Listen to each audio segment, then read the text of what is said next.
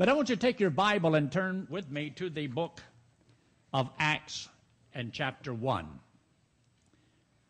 This is the third message in the book of Acts, a series that we're going to be doing as we go through the book of Acts. And uh, I want to talk to you about an individual that you've heard about, and that is Judas Iscariot. Everybody's heard that name. And was he saved or was he lost? Because after all, he was one of the disciples. And as a disciple, well, he should have, um, no doubt, known the Lord.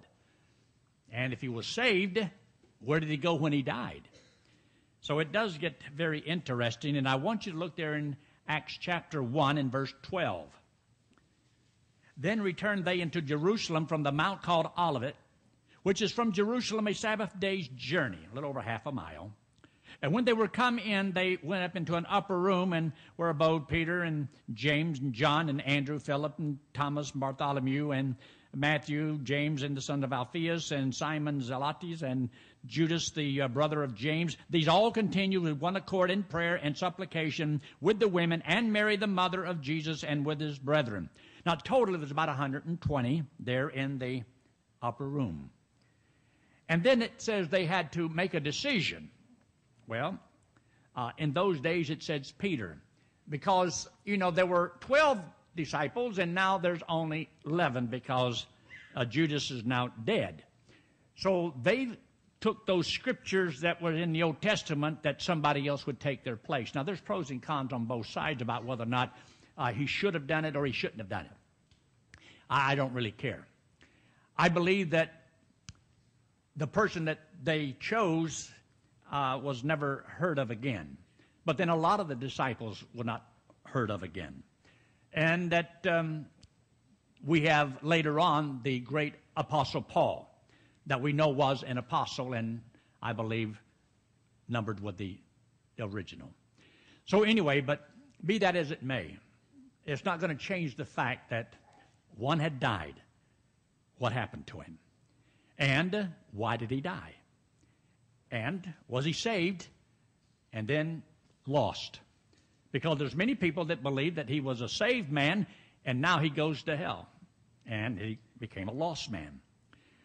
But it talks about how he had betrayed the Lord, you know, and sold him for some money, and later on it was used to buy some a field of blood where they had a cemetery. And anyway, things weren't looking too good.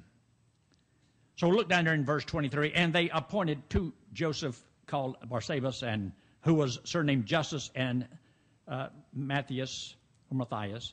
And they prayed and said, Lord, uh, which knoweth the hearts of all men, choose whether of these two thou shalt have chosen, that he may take part of this ministry and apostleship from which Judas by transgression fell that he might go to his own place. So is his own place a different place than where everybody else was going to go to? And they cast their lots, and it fell upon Matthias, and he was numbered with the eleven apostles. Now, the scripture here doesn't say whether it was right or wrong. Here's, this is what happened. Uh, the book of Acts is a historical book. Uh, it's not doesn't tell us what to do or not to do. It just tells you this is what happened. If you take the book of Acts out of the Bible and you just finish with the Gospels, and then you start with Romans, and uh, it, there's a whole gap in there of knowledge. Well, what happened? So the book of Acts is a bridge between uh, the Gospels and the doctrinal books. So it's very, very important. And the book of Acts is a book of action. As you study the book of Acts, you'll find out when the Holy Spirit came upon them, they were to be witnesses. Jerusalem, Judea, Samaria, and now the most parts of the earth. And one story after the other is a soul winning story. The soul winning adventures all the way through. So as you read it, you find out what Christ meant when he told his disciples to go into all the world and preach the gospel. Well, the book of Acts tells you what he meant because they understood and they did it. And so if you want to know what serving the Lord's all about, then you study the book of Acts. It is a book of action that helps you to see and understand our responsibility. Now, in the very beginning, it says there, And I want you to see this. Look in verse 18. Now, this man, talking about Judas, purchased a field with the reward of iniquity, and fallen headlong, he burst asunder in the midst, and all his bowels gushed out. It was known unto all the dwellers at Jerusalem, inasmuch as that field is called in their proper tongue, Aceldama, that is to say, the field of blood. For it is written in the book of Psalms, Let his habitation be desolate, and no man dwell therein, and his bishopric or his officer service uh, let another take. So they wanted to know what they should do, so they kind of like drew straws and cast lots, and uh, they got a man that nobody ever hears about again.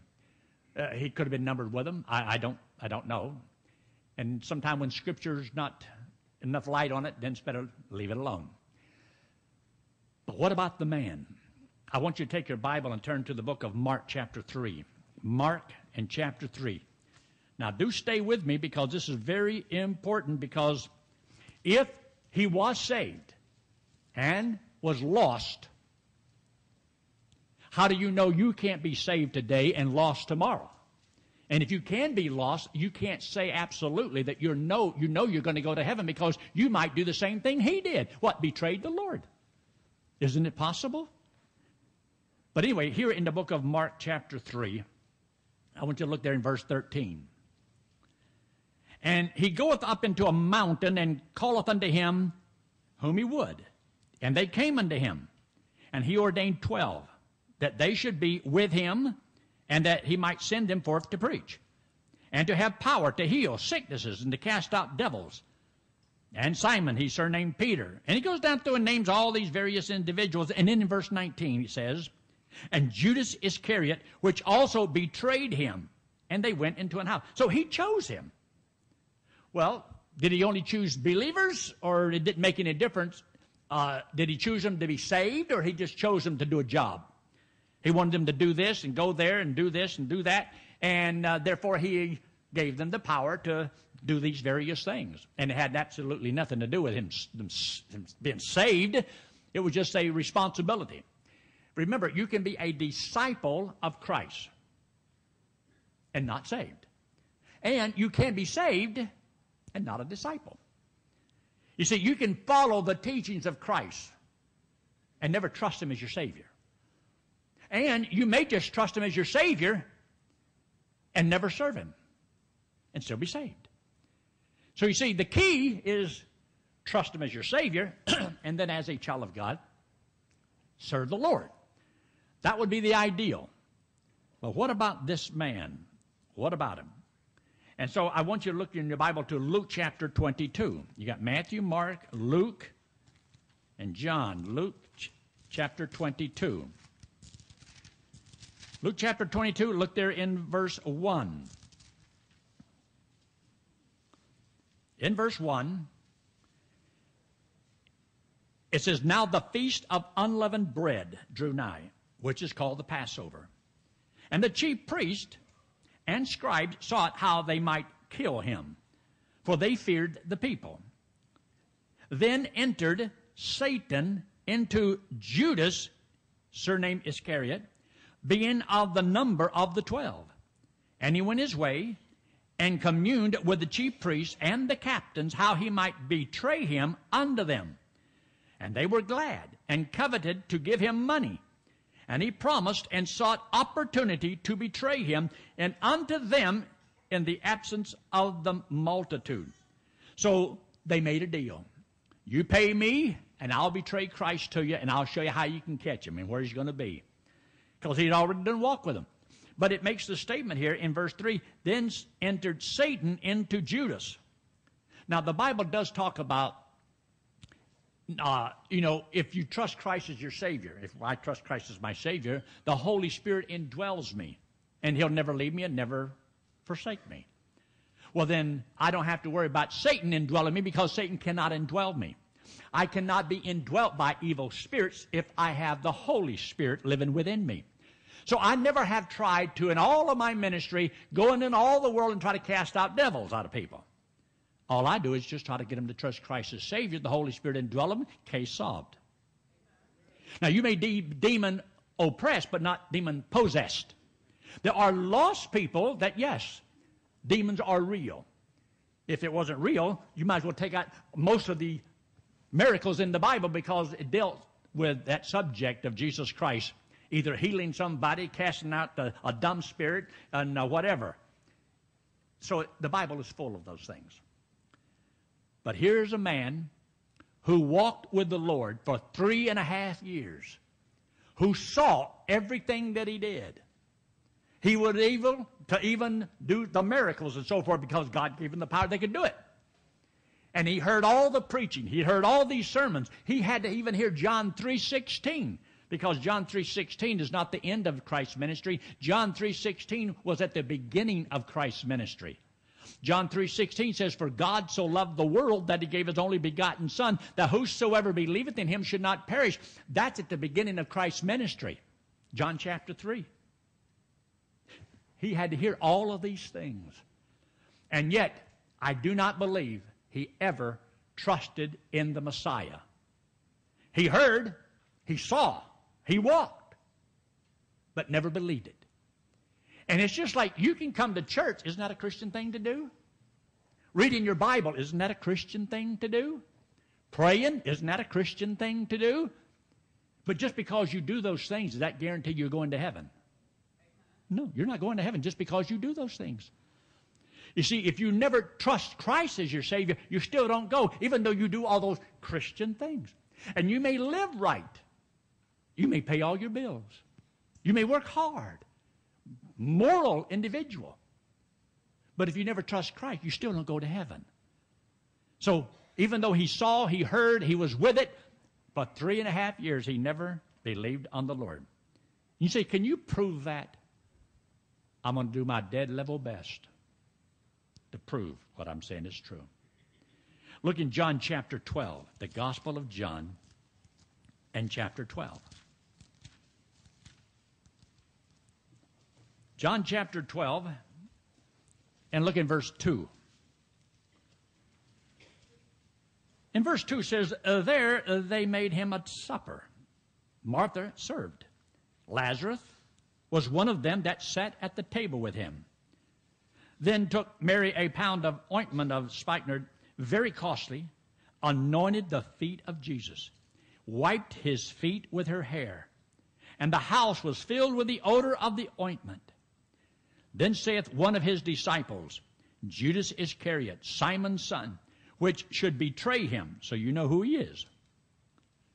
Why was not this ointment sold for 300 pence and given to the poor? Now, isn't that a wonderful spiritual thing to say? He was concerned about the poor. You know, there's a lot of people talk about the poor, the poor, the poor. Christ says the poor you'll always have with you. Some people, believe it or not, are poor by choice. Well, I could get sidetracked here very easily right now. But I'm not, but I'm not. I'm going to stick with my context here.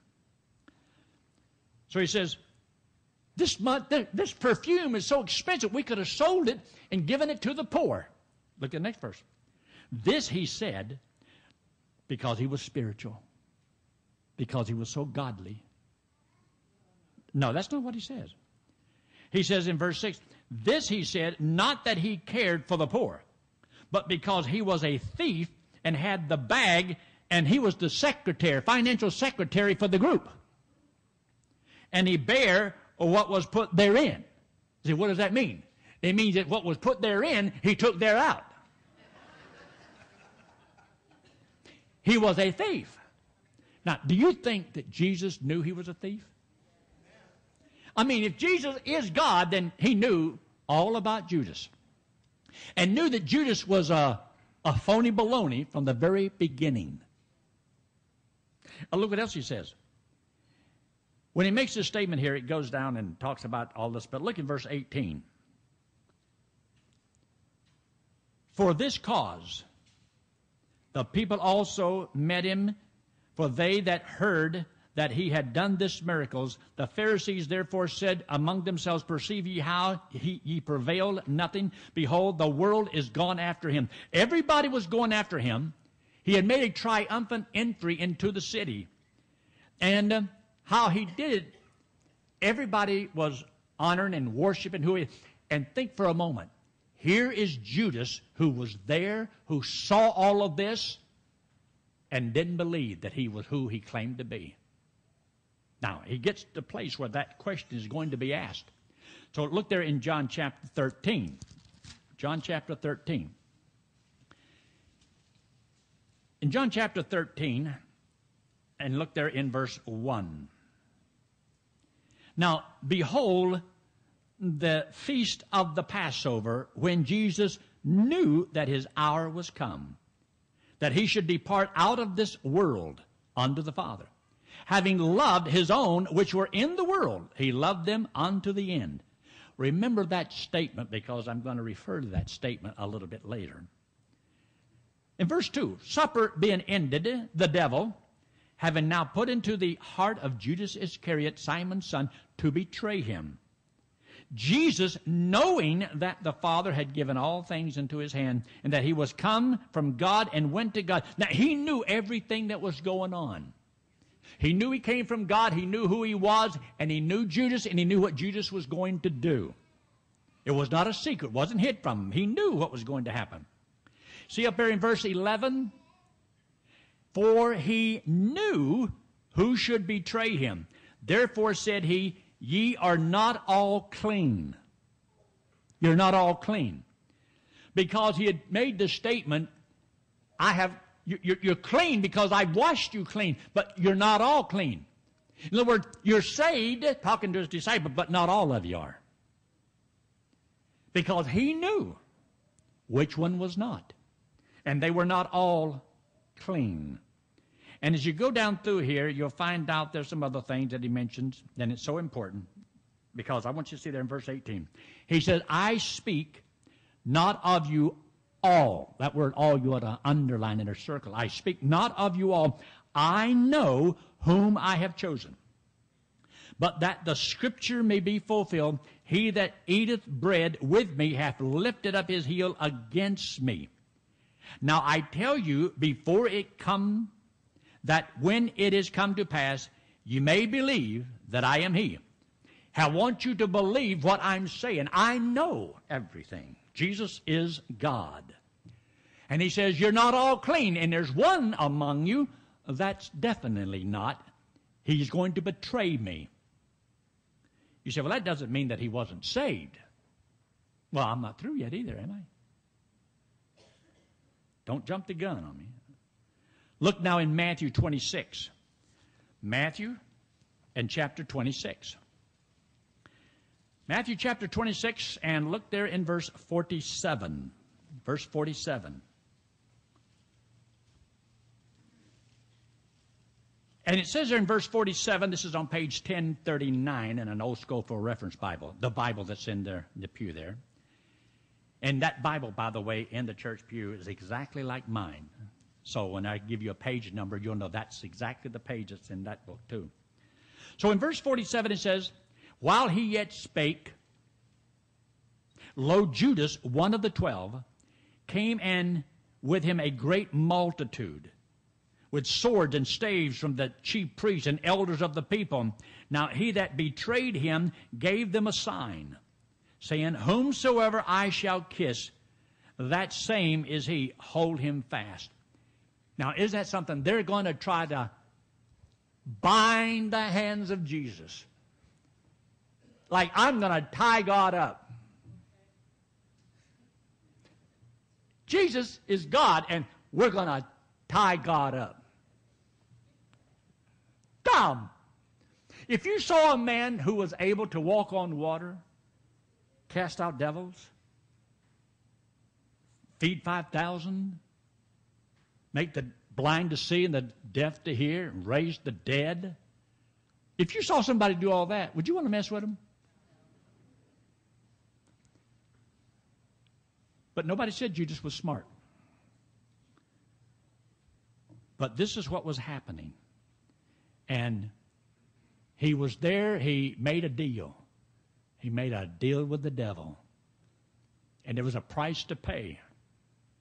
So even down here in verse 50, he says, And Jesus said unto him, Friend, wherefore art thou come? Then came they and laid hands on Jesus, and they took him. As though they were able to take him with their own power. Do you realize what he could have done to them? Do you realize if that had been me, what I would have done? if I saw them coming, I'd have I'd double dog dare you. I'd have spit in their eye. I'd have, I'd have slapped their jaws. I'd have gave them a Hawaiian punch. I'd have sent them back into another cinch.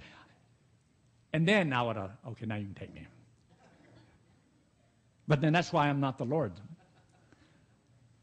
Jesus Christ was God, and He knew everything that was going to happen before it takes place. Now, turning your Bible to chapter 27, Matthew chapter 27. Matthew chapter 27, and look in verse 3. In verse 3, and it says, Then Judas, which had betrayed him, when he saw that he was condemned, repented himself, brought again the thirty pieces of silver to the chief priests and the elders, saying, I have sinned, and that I have betrayed the innocent blood. And they said, What is that to us? See thou to that. In other words, they didn't care. And he cast down the pieces of silver in the temple and departed and went and hanged himself. Now, this is what Judas did. He knew what he had done was wrong. And it doesn't say that he ever trusted the Lord. He grieved because of what he had done. He threw the money back, and then he went and hanged himself. And so it says they took this money and they bought a field, and it was known even to that day. Now, John chapter 6, the Gospel of John, and chapter 6. The Bible says that all that the Father giveth to Christ shall come to him. You see, when we trust Christ as our Savior, we are born of God. God becomes our Father. He fathered us. We are born into His family, born from above. And the Bible tells us that God is going to take all of those who accept that payment that was made for them, born of God, and He's going to give us to the Son. So we are the inheritance for the Son in the book of Psalms, chapter 2. So we become his inheritance. this is what he gets. He gets us. And he says, All that the Father giveth to me shall come to me. And he that cometh to me, I will in no wise ever cast out. Look what he says there in verse 36. But I said unto you that ye also have seen me and believe not. So there were people that have been there, they saw him, they walk with him, they talk with him, and still did not believe. Because he's God, he knows who believes and who does not believe. We can fool each other, but we cannot fool God. You can be here this morning, sitting in a Christian church, doing the Christian thing, and still not be saved. That doesn't mean you're going to heaven just because you know, you read the Bible and you pray and you mean well, you're sincere.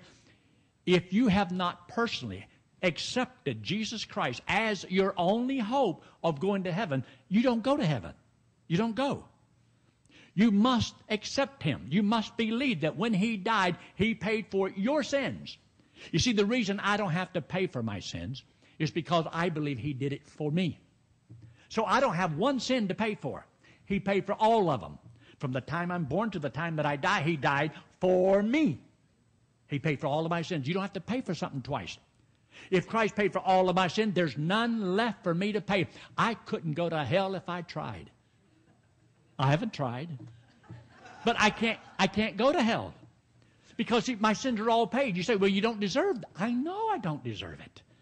That's why God says, For by grace are you saved. Through faith. That not of yourselves.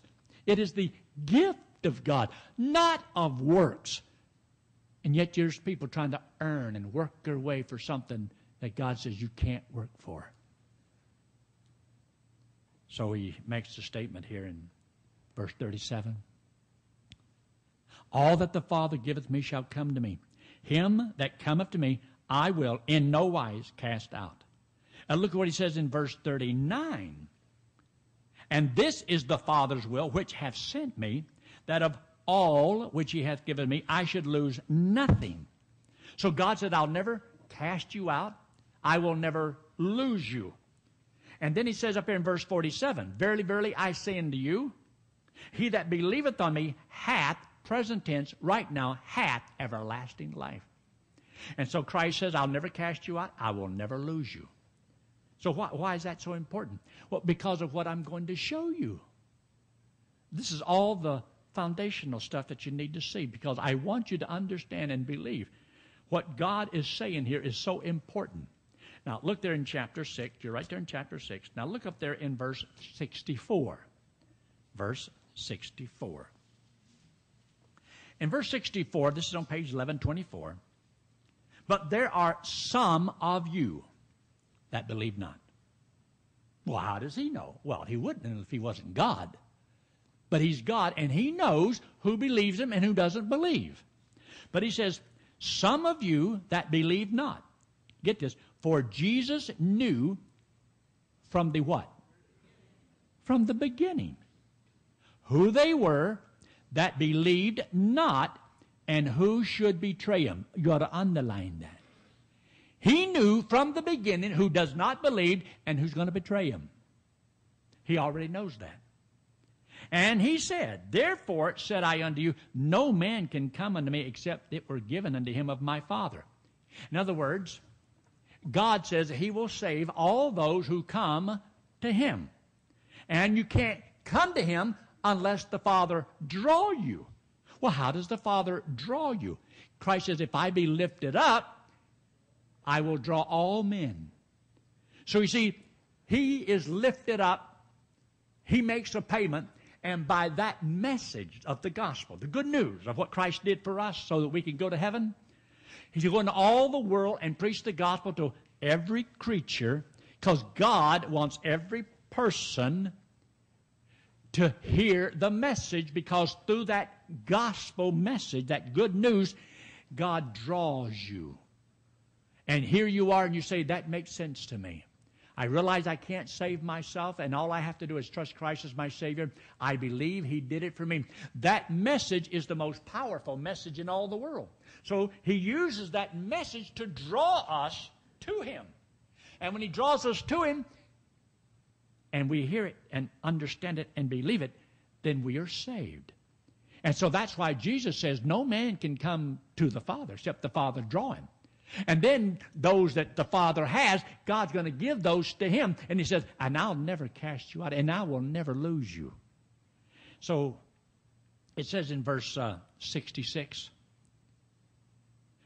From that time, many of the disciples went back and walked no more with him. Then said Jesus unto the twelve, Will you also go away? Then Simon Peter answered and said, Lord, to whom shall we go? Thou hast the words of eternal life. And, get this, where it says, We believe, we believe and are sure that thou art that Christ, the Son of the living God. And Jesus answered them, Not so fast, Charlie. Because Jesus asked the dis- disciples, and Peter, who always speaks up, speaks for everybody, says, We believe. And Jesus said, Not so fast. He says in verse 70, Have not I chosen you twelve? And one of you is a devil? He was a devil from the beginning. He was not of God. He did not believe.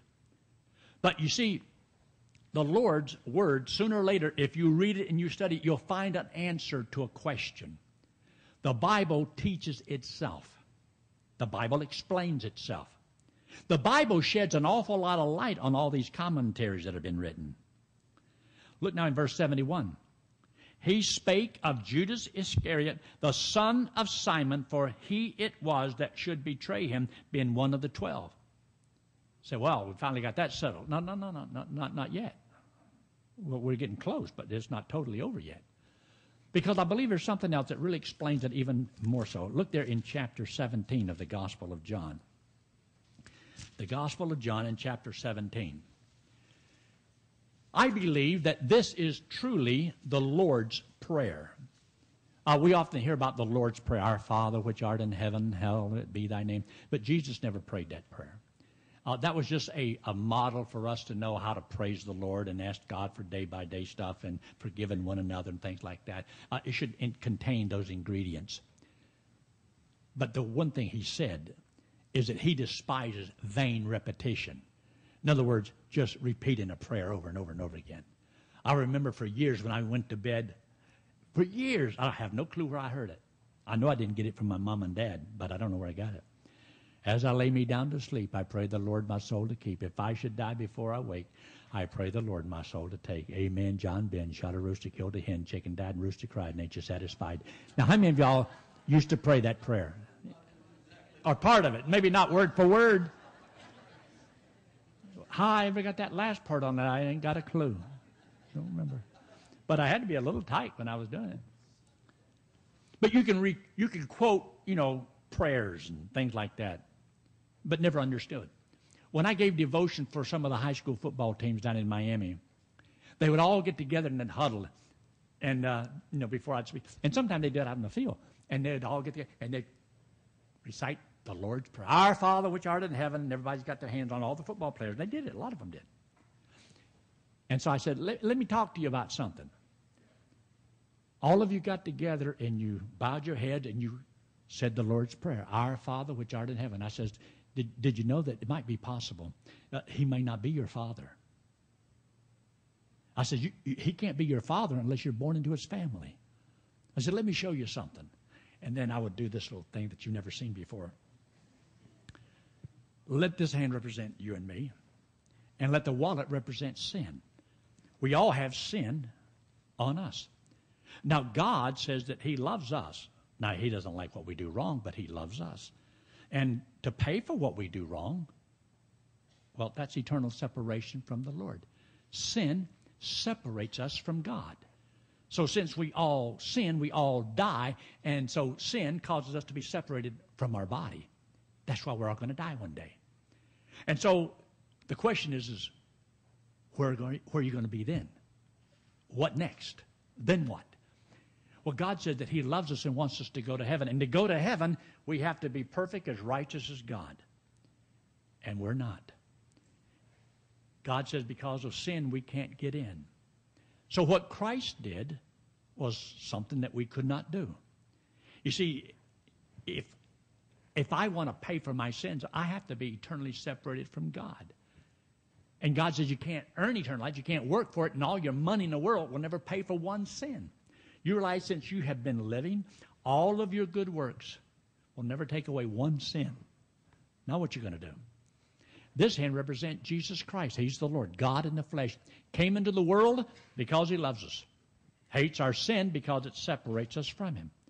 So Jesus Christ, who had no sin, didn't have to die. So He took all the sin of all the world, every person, on Himself. And He died for the world. He died for everybody's sin. But He's the one that knows who believes it and who does not believe. So He knows right now, at this moment, everyone in this room, if you believe He did it for you or if you don't believe it. Those who believe it, this payment is put to your account. You get to go to heaven. If you don't believe He did it for you, then you don't get to go to heaven. Now, wouldn't it be a shame for you not to go to heaven when it doesn't cost you anything. There's no gimmicks to it, there's no tricks to it, and all you had to do is believe it. Believe He did it for you. He died to pay for your sins. So this is what Christ did. I've explained that to a lot of the football teams. And I remember one time I gave it for the Denver Broncos, and we had the Baltimore Colts down in Florida. One time we went to one of the little devotions for them. Mels Carbonell was one of the key individuals back then. This is a powerful message. But some people will believe it, and some people will not believe it. So here in John chapter 17, he said, These words spake Jesus and lifted up his eyes to heaven and said, Father, the hour is come. Glorify thy Son, that thy Son also may glorify thee. As thou hast given him power over all flesh, that he should give eternal life to as many as thou hast given him. See, When you trust Christ as your Savior, then God gives you to the Son and He gives them eternal life. And He said, I'll never cast you out and never lose you. In verse 3, and this is life eternal, that they may know Thee, the only true God, and Jesus Christ, whom Thou hast sent. Jesus Christ and God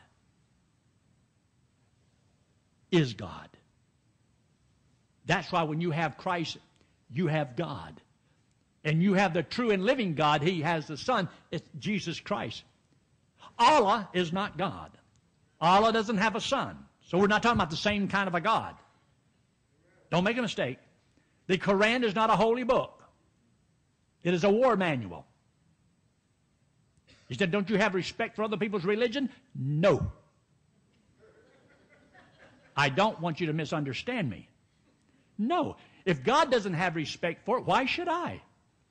He said, This is the truth. This is what you believe. And no man comes unto the Father except through him. There is none other name under heaven given among men. This is the only way. And he says in verse 4 I have glorified thee on the earth. I have finished the work thou gavest me to do. James just sung that song, paid in full. I've done the work you gave me to do. And then in verse 6 he says, I have manifested thy name unto the men which thou gavest me out of the world. Now, I believe he's talking about his disciples, and I'll show you why. He said, I have manifested thy name unto the men which thou gavest me. Thine they were, and thou gavest them me, and they have kept thy word. Now they have known that all things whatsoever thou hast given me are of thee. I have given unto them the words which thou gavest me, and they have received them, and have known surely that I came out from thee. And get this, you ought to underline this. They have believed that thou didst send me. They believe it. I pray for them. I pray not for the world, but for them which thou hast given me, for they are thine, and all mine are thine, and thine are mine, and I am glorified in thee. Now look in verse 11. Now I am no more in this world, but these are in the world. I am come to thee, Holy Father. Keep through thine own name those whom thou hast given me. Those three words you ought to underline. Thou hast given me, hath given me. Those that believe. You see, that goes all the way back to John chapter 6. And then he says here, Whom thou hast given me, that they may be one as we are. Now look in verse 12. While I was with them in the world, I kept them in thy name. Those that thou gavest me, I have kept, and none of them is lost. Those you gave me. Because remember, you go back to John chapter 6, never cast you out, never lose you. Who? Those that thou hast given to me. And I give unto them eternal life. They shall never perish. But Lotus, I have kept, and none of them is lost, but the son of perdition, that the scripture might be fulfilled. There was only one out of the twelve that did not believe. I believe that's Judas Iscariot. I believe when you put all the scriptures together, it goes through and it keeps on until it finally it answers the question. So go back there to the book of Acts in chapter 1. In verse 24 of Acts chapter 1, and they prayed and says, Thou Lord, which knoweth the hearts of all men, show whether are these two thou hast chosen, that he may take part of this ministry and apostleship from which Judas by transgression fell, that he might go to his own place. Now, I don't believe that's the same place that you and I are going to go because we've trusted Christ as our Savior. But he noticed Judas had every opportunity. He saw the Lord. He walked with the Lord. He talked with the Lord. He was able even to produce miracles and so forth. And remember, there's a scripture that says, Lord, Lord, have we not prophesied in thy name, cast out devils, and done many wonderful works? And he says, Depart from me, I never knew you. It means they never believed. So, is it possible for people today to be very, very religious? and go to church and do all these right things and hear all the right stuff and never themselves ever personally ever trust Christ as their Savior. I believe that it's possible. I believe a lot of people have. For example, we had a service just Thursday night. And as I gave the gospel, and then I gave an invitation, I could sense the Lord working. And it's a strange thing because you can't always explain it. But when you see a lot of people believe in it, so I, I believe that. See, raising your hand will not save you. I've never told anybody, raise your hand and it'll save you. Walking an aisle will not save you. Praying through and hanging on, letting go and letting God ain't going to save you. The only thing that saves you is you in your own heart believing that what Christ did was for you, and you trusting Him. Now, the Lord, He didn't even have to ask for a raise of hands. Why? Because He's the Lord. He knows who believes without asking. I don't have that ability. So, what I do is I ask. For example, if you're here this morning and let's say while I'm talking, you're sitting there and you're saying, you know, that made sense to me. I'm going to trust Christ as my Savior. I believe He died and paid for my sins. Because, see, you don't have to pay for something twice. So if you believe He did it for you, He puts the payment to your account. He gives you eternal life, and you get to go to heaven whenever you die. So you may sit here and trust Christ as your Savior, and I'll never know it. Why do you think I've done all this talking? because I want you to trust the Lord. Well, wouldn't it be gratifying to know if somebody does? So whenever I ask people to bow their heads and close your eyes so that nobody's embarrassed, when I ask a person to raise their hand, it's not for you to be saved. It's because I believe that you believe it. And you're trusting Christ as your Savior. And I just want to know is it wrong for me to want to know? I have been preaching for it for 45 minutes. It's like dangling a, a T-bone steak in front of a Rottweiler. Do you want it? Do you want it? Do you want it? Well, buddy, if he takes it, you'll know it. And I believe if you take it, I want, I want to know why. Because that's why I do it. It brings great joy. And I'd like to have prayer for you.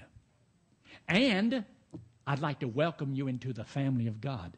Because, see, when I trusted Christ as my Savior, I became God's child. Well, if you trust Christ as your Savior, then you become God's child. So both of us are God's children. Hey, welcome to the family. The family of God. Ain't no better family than that. And one day we're going to all die here and we're going to go to heaven and we're going to have a big reunion up there. I'm kind of looking forward to that. So, very quickly, you and me, sin. Christ, no sin. Loves us, hates sin. Took it, paid for it, came back from the dead. You believe it, you get to go to heaven. Not because of anything you've done, but because of what he did for you. Will you believe it?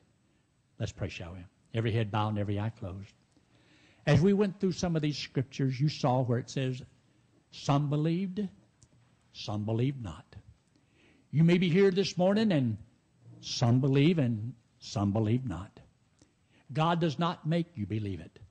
See, He already knows. I don't. I'm just a man. I can't save you. This church can't save you. All the money in the world can't save you. But if you will trust Jesus Christ right now as your Savior, God said He would save you and give you eternal life. Friend, I pray that you will. So with heads bowed and eyes closed and no one looking around, I'm going to ask you in just a moment to raise your hand. Raising your hand does not save you. It just lets me know that you believe He did it for you. And it's your way of saying, Preacher, I believe it. I'm trusting Christ as my Savior, and I want you to know. Would you just slip your hand up very quickly and put it right back down? Yes, God bless you, sir. God bless you, ma'am. God bless you, ma'am. Anyone else, very quickly, just slip it up. God bless you. God bless you in the back. I see your hand. You can put it down. God bless you, ma'am. You see, it's a sign of good judgment. There's no tricks to it. I'm not going to have you stand up or come forward. I'm not going to embarrass you in any way. Anyone else before we close? Say, preacher, that made sense to me, and I want to trust Christ as my Savior. I want to be certain of going to heaven. Anyone else? Our Father, we thank you so much for all you've done for us. We're thankful for the opportunity to share the gospel with others. There's so many people that's never heard. And I just thank you, Lord, for those who indicated this morning by an uplifted hand that by faith they trust Christ as their Savior. And by doing so, Lord, we know according to your word they become your child, your child forever. That you'll never cast them out and never lose them. We ask your blessings, Lord, upon each family here and all the hard work of all those that brought the food so that we could have a good time of fellowship. We ask your blessings upon the food and to use it for the nourishment of our bodies. And we thank you, Father, for those that are visiting with us today and pray your special blessing upon